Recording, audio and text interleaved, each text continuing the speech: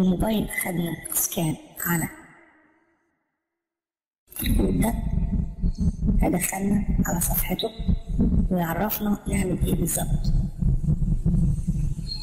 أنا هختصر لكم ده كله واقول لكم هنعمل إيه بالظبط. إحنا هنفتح الجهاز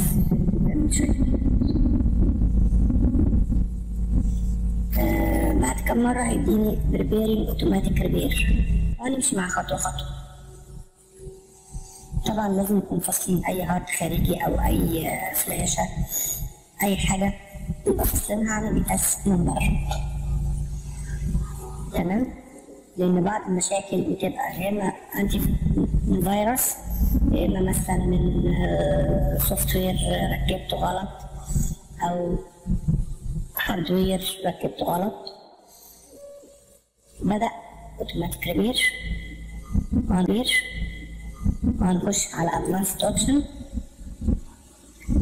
هنلاقي ثلاث اختيارات. أول اختيار continue continue معناها آه بيقول لي exit اللي أنت فيه ده وكمل آه دخول على ويندوز 10 لو اخترته هيعمل لي نفس المشكلة مش هيعرف يخش على ويندوز 10 الاختيار الاخير اللي يقفل الكمبيوتر خالص أو نفس الكمبيوتر يعني كبر دماغه أو منام يعني. فهناخد اختيار الوسطاني. اللي ده بعد كده هاخد advanced option. وهاخد الخيار رقم ستة. ده اللي واقف عليه ده. هو دلوقتي بيقول لي ان الكمبيوتر بتاعك هيعمل ستارت لواحد اتنين تلاتة أربعة خمسة ستة سبع اختيارات. هتختار اللي انت عايزه منهم. لما الكمبيوتر فاكرين لما كنا بندوس على F 8 ساعة دخول للويندوز 7 عشان نصلح مشكلة فيه؟ هو ده نفس الشيء. هدوس على ال restart بعد كده هختار إيه من التسع اختيارات اللي قدامي دول؟ هختار رقم أربعة. enable mode يخش على safe mode أو وضع آمن طب هخش على البند ده إزاي؟ الكرسي مش شغال. لا النود دي هخش عليها باختيار الرقم البند نفسه. لو عايز أخش مثلا على بند تسعة بدوس على رقم تسعة. لو عايز أخش بند أربعة اللي إحنا هنخش دلوقتي ادوس على رقم أربعة. ادوس على رقم أربعة ولازم يكون عارف ان إن الأرقام أو lock شغالة سواء lap أو جهاز عادي. نخش على safe. mode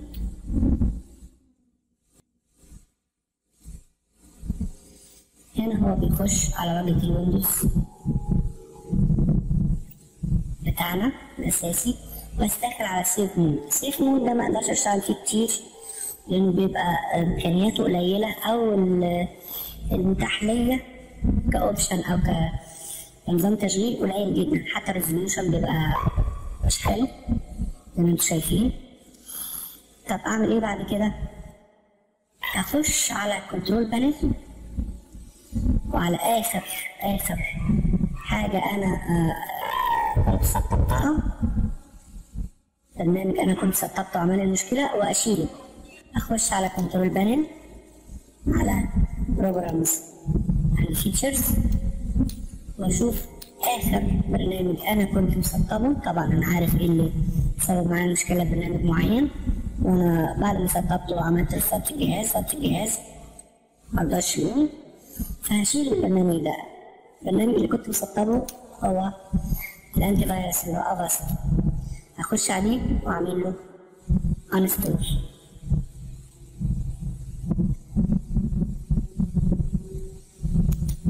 uninstall next أستنى لغاية ما البرنامج يتشال خالص.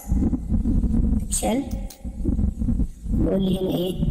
خلاص uninstall finished restart بقول له فينيش نعمل ستارت الجهاز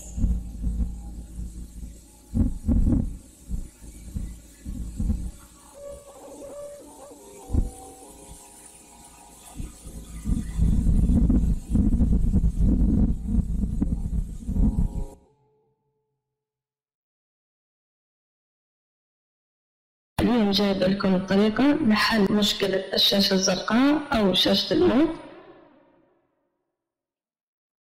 عند ظهور الشاشة الزرقاء يقوم الجهاز بعمل تشغيل بعمل إعادة تشغيل في كل مرة ولا يقوم بتحميل الويندوز وتظهر لدينا في نهاية المطاف هذه الشاشة.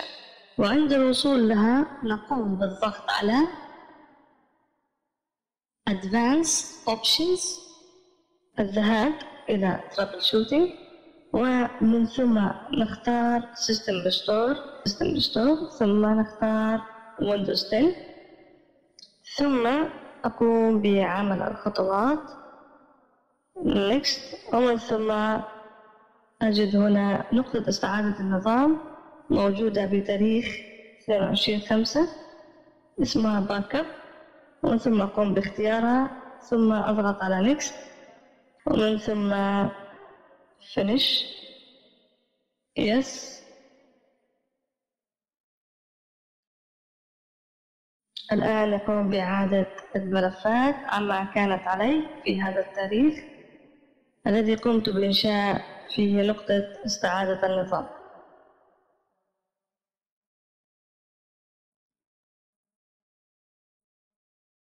الآن بالخطوات الأخيرة لعملية استعادة نقطة النظام. بعد عملية بعد عملية إعادة تشغيل أصدقائي تظهر لدي رسالة هنا بأن عملية استعادة النظام قد تمت بنجاح.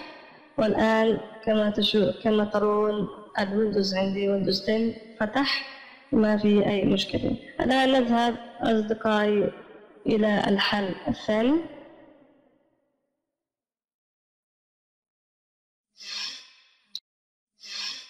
الآن أصدقائي الآن نذهب إلى الطريقة الثانية. Trouble shooting.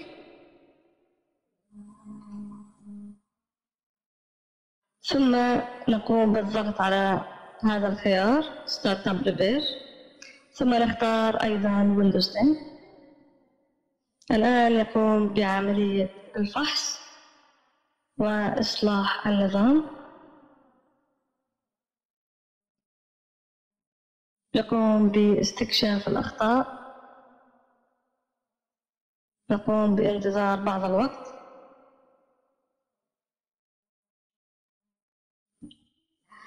الآن نذهب إلى الطريقة الثالثة لحل مشكلة الشاشة الزرقاء. نقوم باختيار troubleshoot ثم نقوم باختيار command prompt نقوم بالضغط عليه ثم كتابة التالي C. ومن ثم dir. نختار من هذه القائمة. ويندوز. سي دي. مساحة.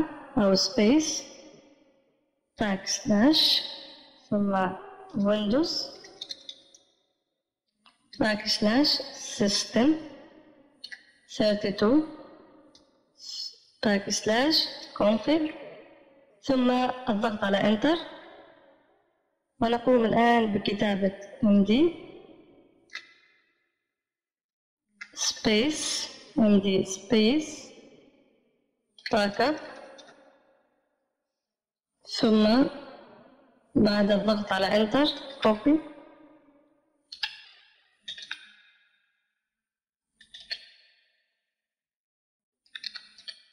copy مسافة ثم star ثم نقطة ثم ستار مسافة back ثم enter. بعد ذلك أيضا نقوم بكتابة سي دي مسافة reg back ثم enter ثم dir ثم كتابة الأمر copy مسافة ثم نجمة أو star ثم نقطة star ثم مسافة ونقطتين ثم نقوم بالضغط على enter ومن ثم هنا يأتينا أمر بأن نقوم بعمل override. نقوم بكتابة آه، حرف ال A. ذلك بأننا موافقون على أن يقوم نسخ الملفات. لنقوم باستعادة النظام. بعد ذلك نضغط إنتر. ومن ثم نقوم بإغلاق هذه النافذة. ثم نقوم بالضغط على كونتينيو. هؤلاء الطرق الثلاث أصدقائي لحل المشكلة الشاشة الزرقاء وأأمل بأن بأن هذه الطرق تقوم بحل المشكلة لديكم. وشكرا جزيلا لكم.